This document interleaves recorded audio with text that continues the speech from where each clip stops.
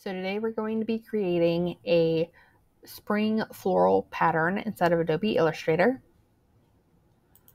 So I'm going to go over here and do new file. It's set up to do pixels. That is perfectly fine. Um, it doesn't give us an exact um, amount there, so that's fine. I'll just do create.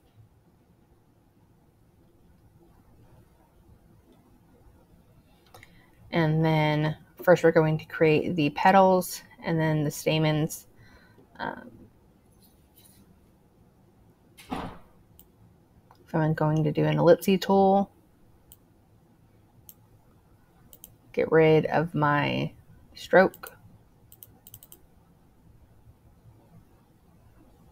It's going to be 113, 20, and 113.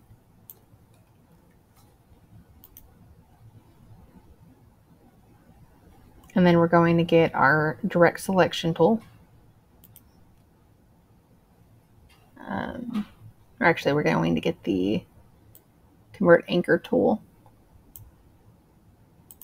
Click on that one. So that creates that. And then I'm going to get the direct selection tool and you click, hold on your shift key, click, and then you can go up. That's going to create that petal. Make it a little bit bigger there. There we go. And then we're going to create the bud. So I'm going to copy and paste.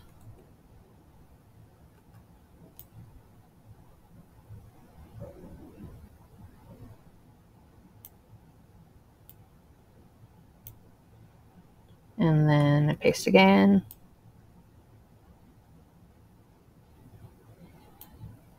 And on this one, I'm going to change my fill color to 101, 3, and 96.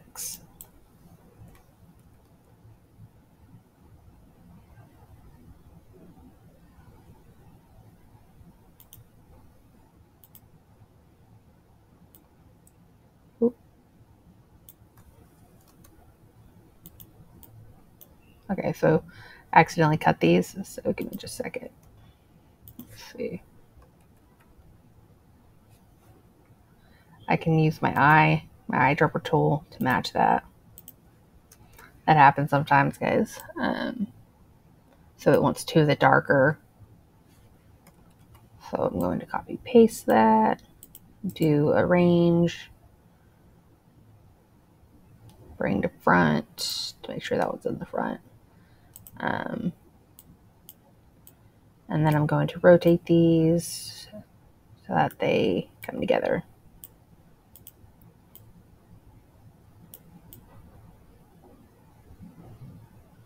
There we go. That has the basic idea of what we're going for. Now we're going to do the stamens, um, ellipse tool,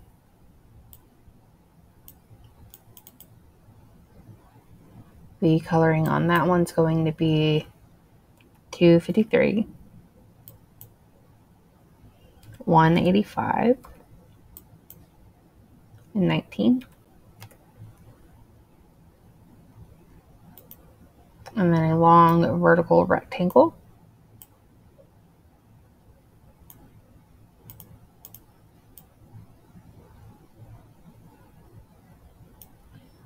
We're going to group them by selecting it, right clicking and doing group. And then I'm going to paste. There we go. So we have four. Um, if I want to make sure I have two of the same size for the smaller one, I can do that too. There we go. And then we're going to put all these together. So I'm going to select all these, make them tiny. See, right now they're on top, so I'm going to do arrange, send it back.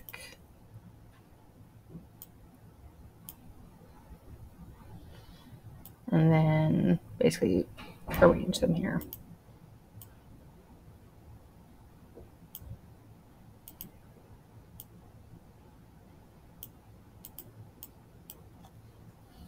Can use my arrow key to help me out with that too.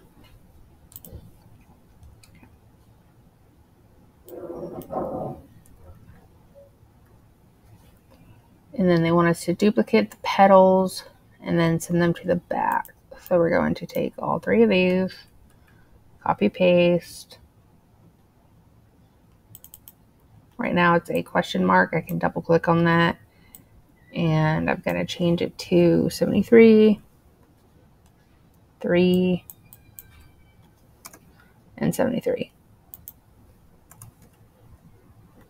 And then I'm going to do arrange, send it back. So that's back here. I'll pull it up just a little bit so that we can see it. And that's going to create that. There's just a little more curvy than mine, and that's perfectly fine.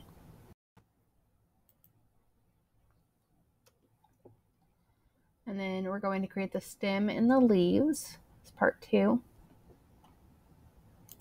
Going to get my rectangle tool. And then this is going to be the first time you've done a gradient, okay? Um, we're going to fill it in with two colored linear gradient. So here is how this goes. So let's see. So if you see,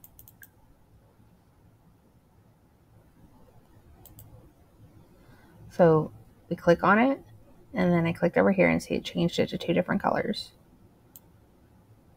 And right now it's trying to go side to side. So hold on.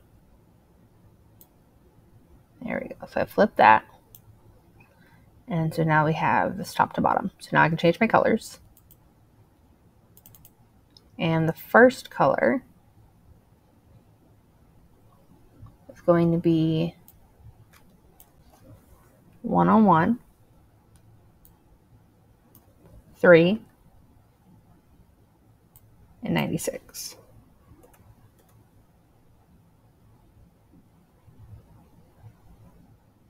And then this is um, giving specifically to be able to do the gradient slider location.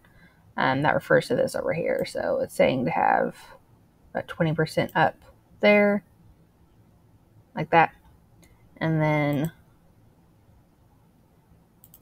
this color. We're going to do 141, 139, and 0. Okay? So it looks like that. And then I'm going to do arrange, send it back that is how you do the stem there. Me make that just a little bit longer. There we go. And then we're going to create some leaves. So we're going to get our ellipses tool and then draw three different oval lengths. So right now that's still in the gradient. Um, and so our fill color for this one is going to be 163, 165, 16.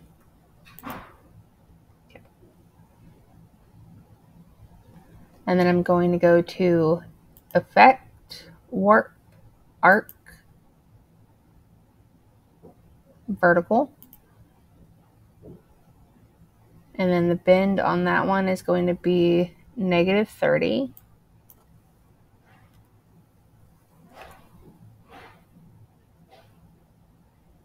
And then the vertical distortion on that is going to be negative 15.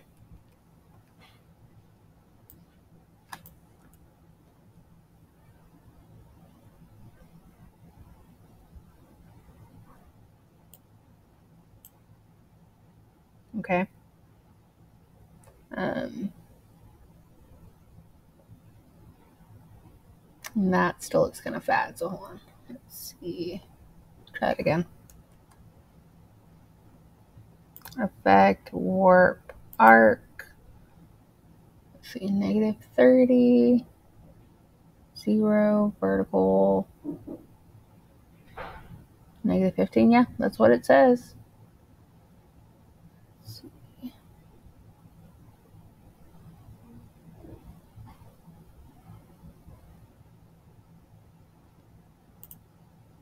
So then in the next one, it's going to be effect, warp, arc, and then going to do the bend at 30, vertical, 0, negative 15. That goes the opposite way. And then third one, see, effect, warp, arc, and this bend's going to be 60.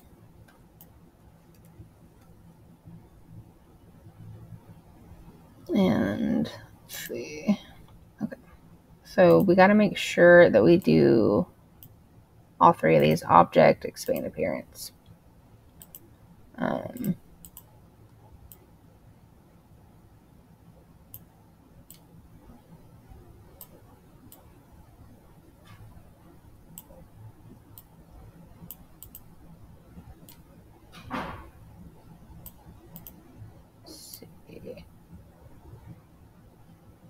Mine are just not as skinny, but it's just because of how I drew my oval.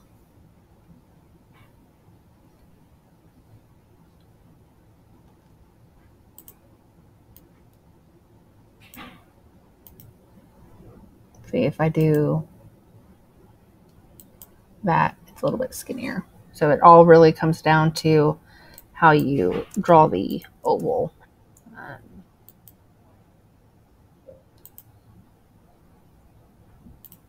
So if I do a skinnier oval, then it's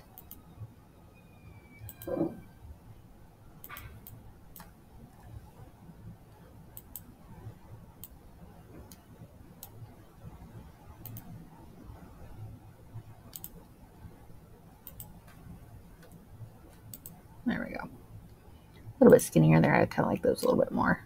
And see, I, before I go to expand the appearance, if I do that. I can make them smaller.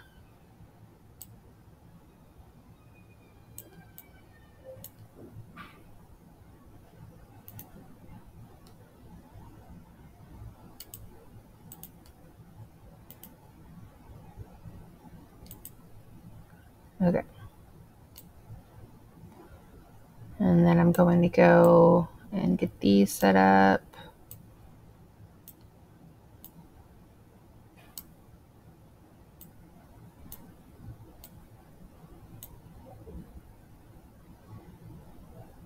Um, so they should be a little bit lower. There we go.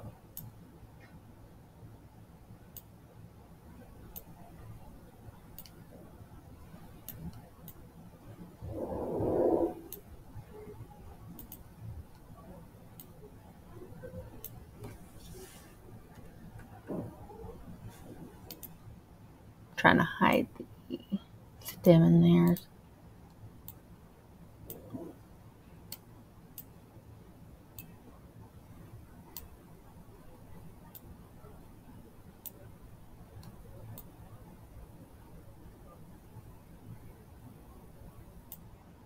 go.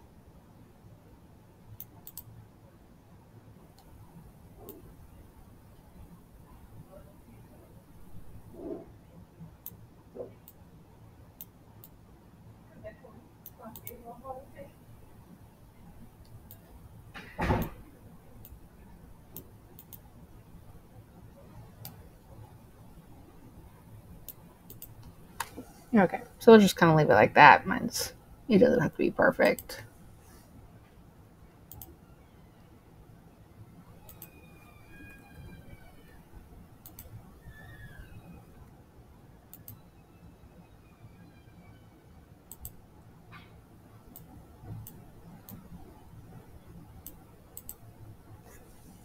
And then we're going to create a different flower now. Um, we're going to take the entire flower that we created and duplicate it. Notice this one has three, this one only has two. Okay. So they want us to copy paste. I'm going to go ahead and group all this so that it stays together. Right click group. And then I'm going to get rid of that one.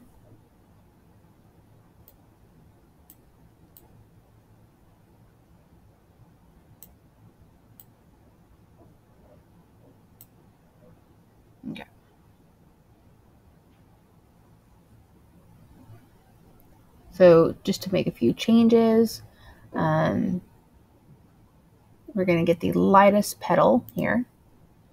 And we're going to change that to 87, 2, 89,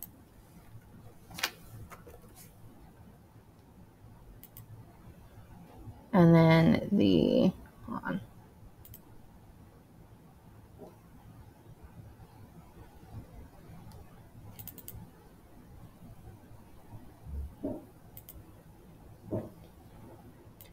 And then the other two petals,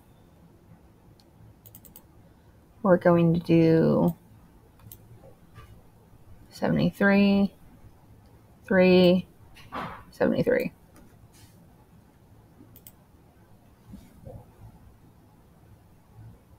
And then the three darkest ones, which I'm getting to by holding down my shift key to make sure I can get all of them. All of our ones there in the back are going to be 50 to 51. Okay.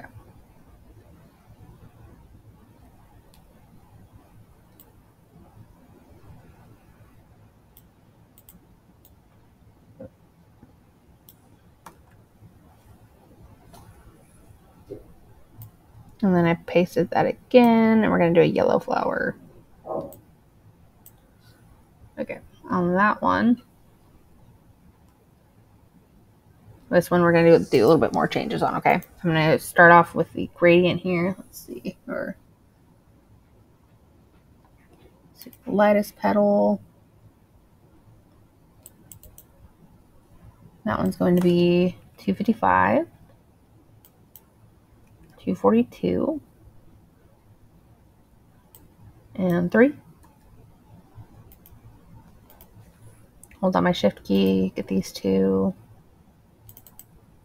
And that one's going to be 244, 226, and 6. And then I'm going to hold down my shift key to get those ones back there in the back. And that one's going to be 232, 210, and 5.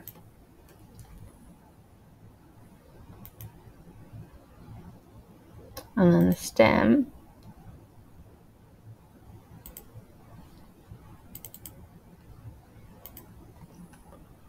Um,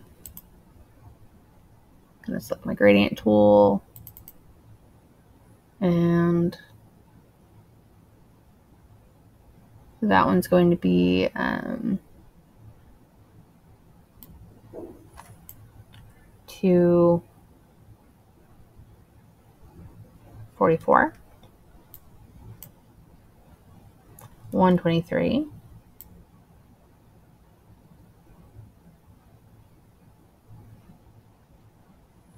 Let's see. Or sorry, that's for the stamens. I'm doing the wrong color there. Let's see. So for the gradient slider, that was going to be 224, uh, 197, and 3. And then for my stamens here, the hold on my shift key.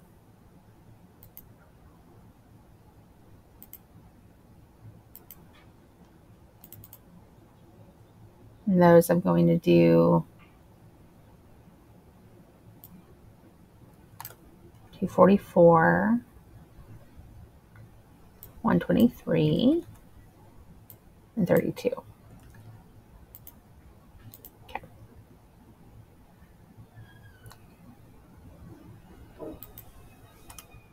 There we go.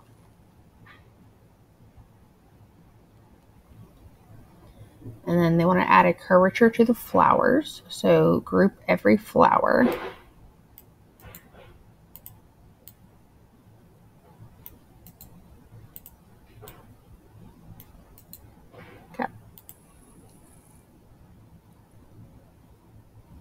And it says to select the first flower and go to, so we're going to do this one and do effect, warp, arc. Let's see how mine arcs there.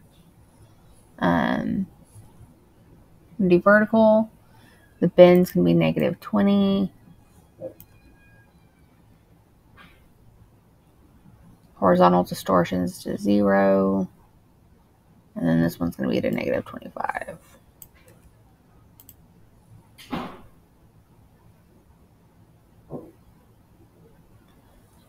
the second flower. We're going to do the effect, warp, arc, vertical, bend's going to be 20, 0, this one's going to be 20. And then this one, again, it's effect, warp, arc.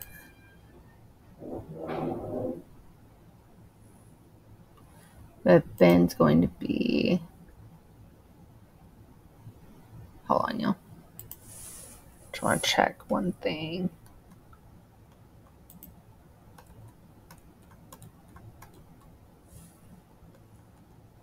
On this one, effect, warp, arc. Okay, if that's the bend on this one's 20, not negative 20. I did that wrong. There you go. 20, 0, negative 20. Okay, cool. And then the third one.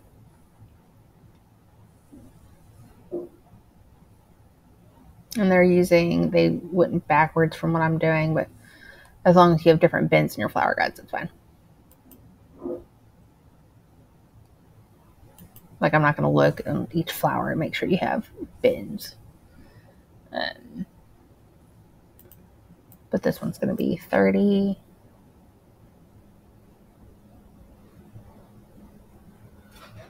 Zero and negative 30.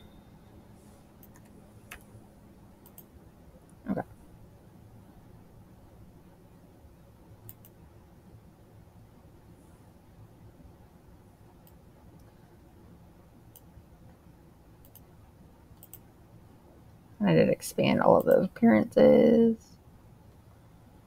And then we're going to create our background.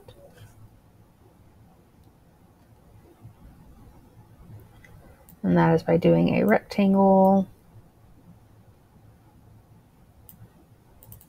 with the color 247, 247, and 241. And then I'm going to right click, arrange, send back. Okay, so then now we're going to place the flowers scattered randomly all over the square that we've created, okay? So this may help to, on my layers, this rectangle, lock it so I don't mess with it. And then I'm going to try to keep them all the same size. So I'm going to size them down together. Copy, paste.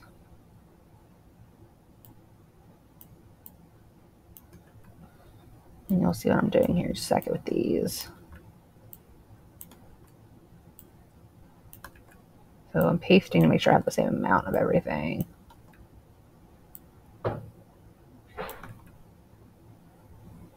Okay. And then I'm just going to start moving these around. You do not have to match this. You just start moving things.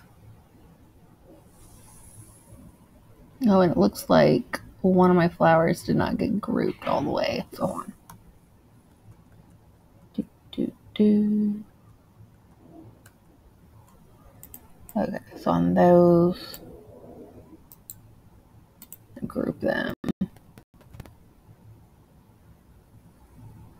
Looks like only three stems ended up with that one, which is fine. Um, one just got messed up there. It's fine. That happens. Okay.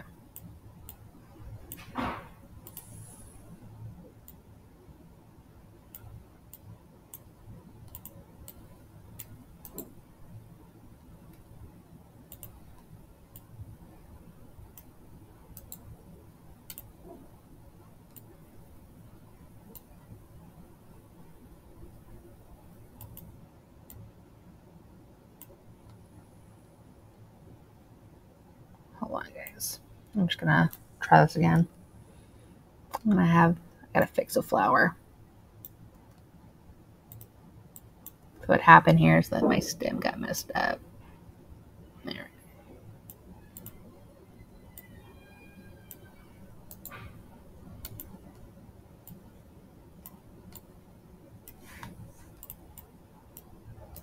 Just making sure all of that's grouped up again before I do anything.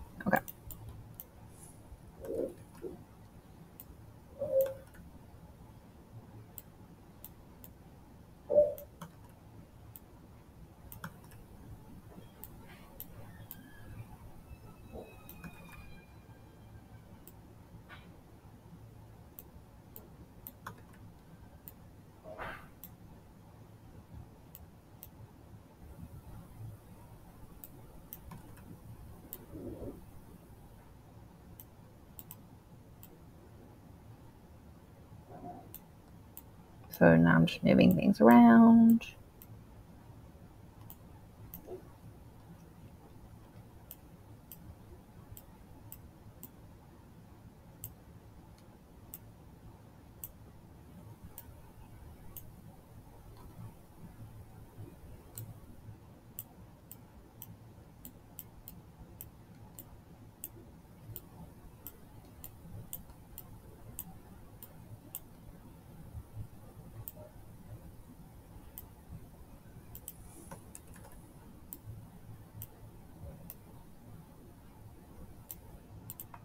So now that I have what I want there, now to do a seamless pattern, we're going to go to the selection tool and select all of the flowers, but without the background.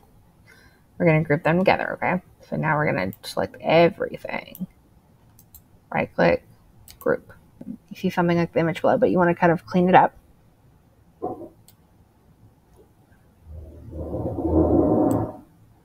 So if I make this a little bit bigger, there we go.